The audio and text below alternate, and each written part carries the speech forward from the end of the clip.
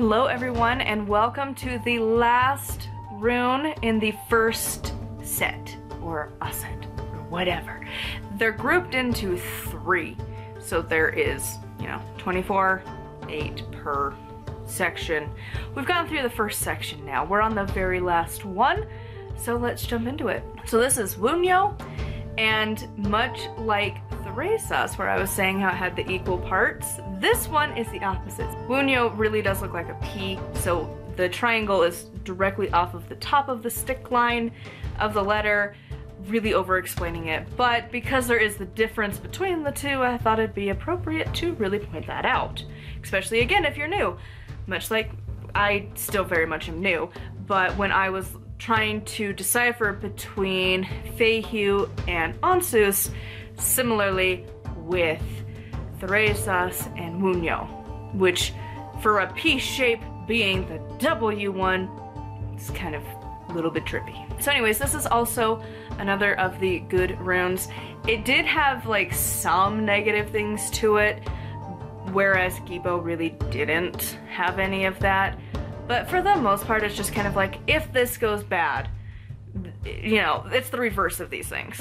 But for the most part, this is a rune that when it comes up, it's for positivity. So what this rune rules over, joy and happiness, and just like following your bliss. It's kind of that shift that's been needing to happen, and like now it's here, you're, you're at that new place. They, they described it as the wheel of karma is in your favor. Success, the absence of trouble, to have adequate resources and the ability to protect those. This one, I'm just gonna read it. Perfection of the process of creation, will, and security. Specifically, they worded it as happiness is found within the security of the stronghold, which basically to me means that your needs are being met. It's really hard to be happy and joyful when you can't afford groceries and you need to have a running car because yours is very unreliable or you're not sure if you're gonna have the money to pay your heating bill in the middle of winter.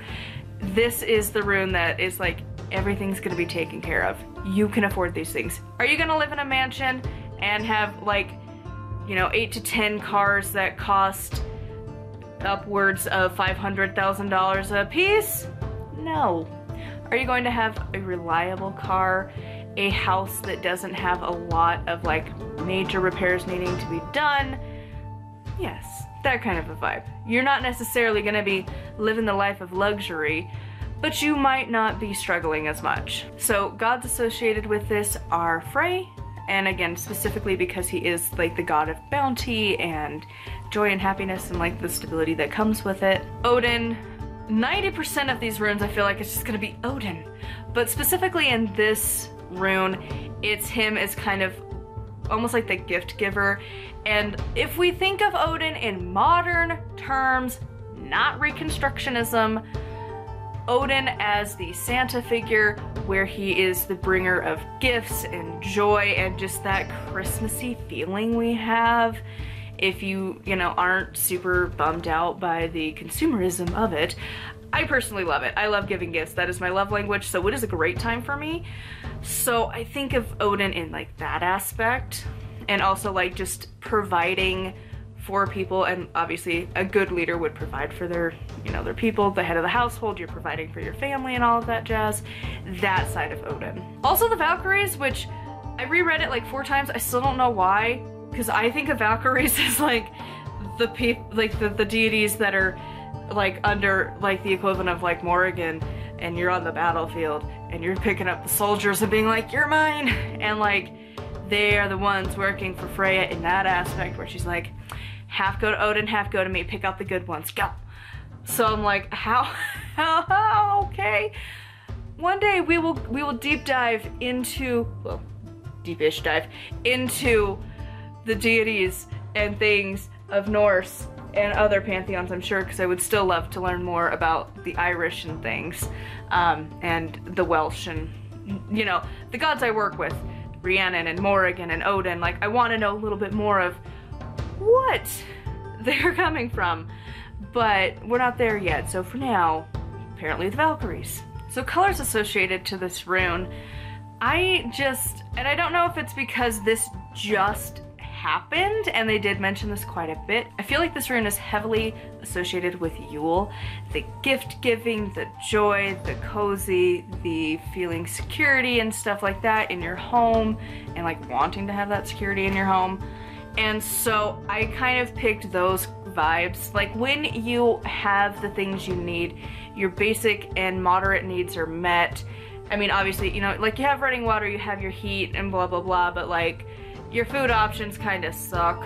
So like the moderate, we're like, you might not have every food item that you would love to have in your house and it's like fully, fully stocked, but like you have food that'll last until your next paycheck. You have some that are like your treat foods and fun things and everything's feeling cozy and you're happy with your family and all of that jazz. All of those vibes that come around the holidays and like loved ones around and everything, those vibes. So naturally the colors I'm thinking of is like the warm glow from like your lights and so like kind of a softer yellow versus like flashy like sun sunlight yellow or like gold yellow. Like just more of like a cozy which I don't know if that's like a color option or like the glowing yellow you know that color. And also I'm just thinking of like the greens and reds of Yule and then also white for like the possibility of everything and like the white of snow. I don't know, again, if that's just because like the Yule season just happened, but that's the vibes I'm getting from this room. And again, the color associations and stuff is just my thing anyways, so take with it what you will. Runes to combine, we have Raidho, again, probably not pronouncing any of these correctly, or Ehwaz for fortunate or pleasant journeys, Ansuz for good news, Quinaz for artists or creative people, that creativity is very important to your happiness and well-being. Thurisaz, the power or realization of true will.